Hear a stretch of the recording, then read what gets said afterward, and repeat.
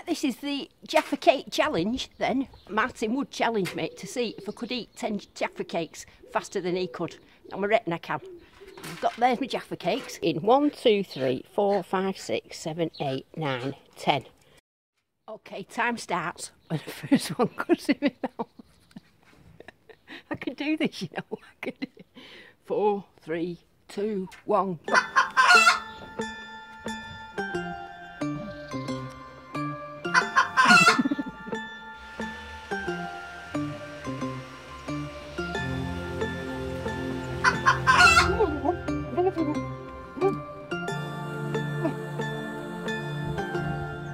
Thank you.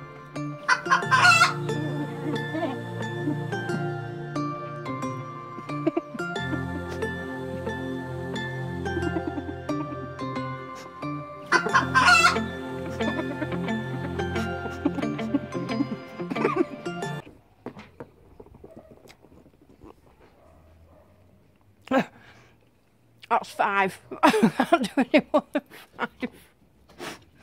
You my mouth up a bit. I mean, Diggy was trying to help. But um, have a one. Let's see. Me and Dawn's having a bit of a Jaffa Cake challenge. Got 10 Jaffa Cakes on a plate in front of me so you can eat them the quickest.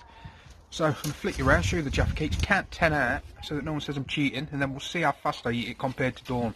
I've got this one in the bag, I'm certain of it.